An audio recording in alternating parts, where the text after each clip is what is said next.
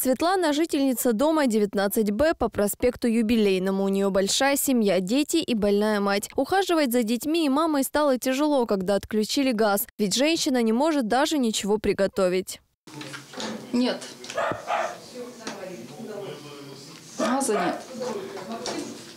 Есть 8 числа мы сидим до сих пор без газа. Готовим на вот этом дореволюционном аппарате.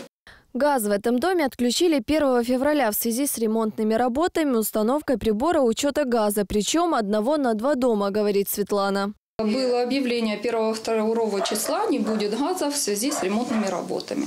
После этого газ не поступил, не включили, безосновательно, беззаконно. Э, С учетом того, что у людей есть газовые счетчики внутриквартирно, то есть люди сидят без газа. Жильцы жалуются, в Горгазе и вовсе не уведомляют их о запланированных работах. Так, 6 февраля несколько людей вырезали газовые трубы, в ходе чего возникла драка между жильцами, как оказалось, сотрудниками Горгаза, которые отказались предъявить какие-либо документы, чтобы обосновать свои действия.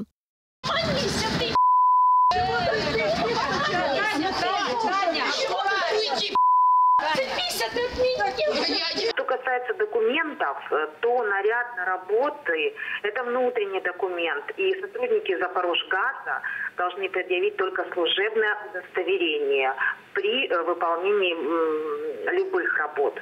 Жильцы жалуются, один прибор учета газа на два дома может повлиять на суммы в платежках. Жители дома на это не соглашаются. По их словам, именно поэтому им и отключили газ, а не из-за ремонтных работ. Отключите газ и решайте вопросы о э, установ- установке счетчиков внутриквартирных, общедомовых. Ну, пока на, на данный момент должны подключить газ В свою очередь, на вопрос, почему в доме до сих пор нет голубого топлива, в Запорожгазе объяснили, жильцы не подпускают их к месту утечки газа.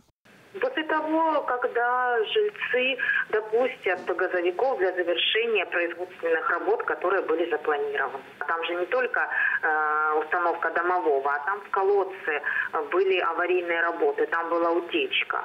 Поэтому тут э, совмещены два вопроса. В пресс-службе заверяют, газ отключили не из-за установки прибора учета, но почему не устранили проблему, как и обещали 2 февраля, неясно. Отключение э, из-за отказа от установки возможно только с 2018 года. Паниковать не стоит, но э, что посоветовать? Э, Посоветовать могу только не отказываться от установки счетчика э, э, письменно хотя бы. Почему? Потому что в случае отказа прямая есть норма, э, применяется повы- повышенная норма потребления.